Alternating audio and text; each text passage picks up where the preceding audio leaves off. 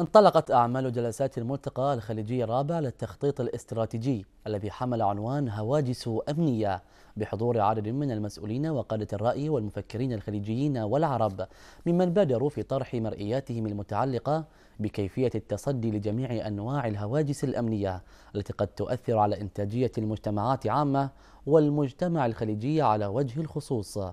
مناقشات وضعت يدها على جملة التحديات التي قد تزعزع بيئات الأمن المتنوعة كالأمن السياسي والاقتصادي والإعلامي. موحد إزاء الأخطار التمعن الجلي بالواقع المتخبط الذي تعيشه منطقة الشرق الأوسط. يدفعك للتوجه بأدوات التخطيط السليم والقراءة المنطقية نحو تقدير مساحة عمق الزجاجة لمعرفة السبيل الأمثل للخروج منها. وبالتالي تلافي اتساع رقعة سمة عدم الاستقرار وتشكل الصراعات الأمنية على حين غرة بين الفينة والأخرى. هواجس أمنية هو العنوان الذي حمله مجيء الملتقى الخليجي الرابع للتخطيط الاستراتيجي. هذا الملتقى الذي ينوي وضع يده على جملة من البرامج الاستراتيجية التي تخفف من وطأة الهواجس الأمنية التي تهدد مستقبل الشعوب العربية على وجه العموم والخليجية من باب الخصوص. لم يعد يعني من المقبول تحمل الحكومات فقط لجميع تبعات آه، الأمور المتلاحقة في المنطقة. بات ضروريا مشاركة كل فرد من أفراد المجتمع لأن ما يجري سيجري علينا جميعا.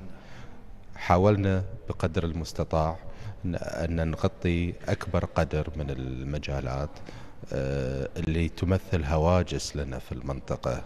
نحن نمر بفترة حرجة. هناك أكثر من تحدي يحيط بمنطقة الخليج العربي. لا يخفى عليك. هناك تحدي الإرهاب، هناك تحدي آه، عاصفة الحزم وتبعات حرب اليمن، وهناك ما يجري في سوريا وعدم الاستقرار في العراق. جميع هذه الأمور تتطلب الانتباه للهاجس الأمني أو ترفع الإحساس آه، بالخطر المحيط بنا وتتطلب كثير من الاستراتيجيات يعني لتقليل الضرر على دول الخليج من تبعات آه، ما يجري حولنا. مشاركة هي الأعلى منذ تاريخ ولادة هذا الملتقى من حيث المتحدثين والحضور في آن معا.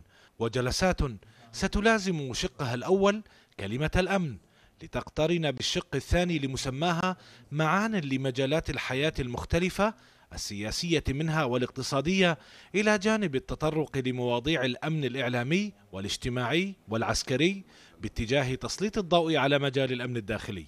كيف نحن نستطيع أن نواجه هذه الهواجس الأمنية داخليا وخارجيا من خلال تفعيل منهجية ومبادئ التخطيط الاستراتيجي وتنفيذ أيضا هذه الخطط الاستراتيجية بحيث أن نكون مبادرين مستعدين ونتميز أيضا من خلال القدرة على مواجهة أي نوع من التحديات حماية لشعوبنا ولمكتسباتنا الوطنية.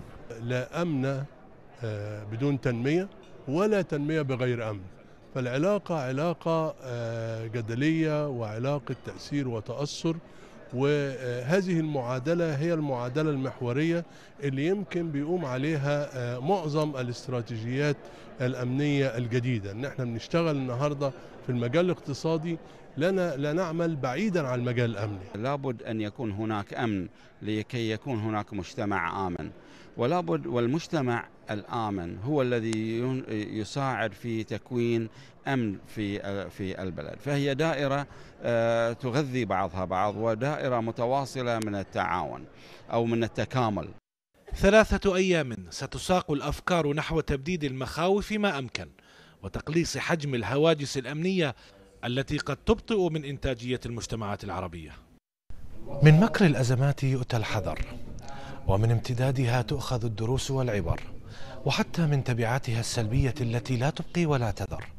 تأتي الحاجة ملحة بوجوب تفادي أي أمر قد أنذر ولن يعذر. بيئة الأمن إن تجاهلته من باب لا تحديات تذكر. لتلفزيون البحرين محمد رشيدات.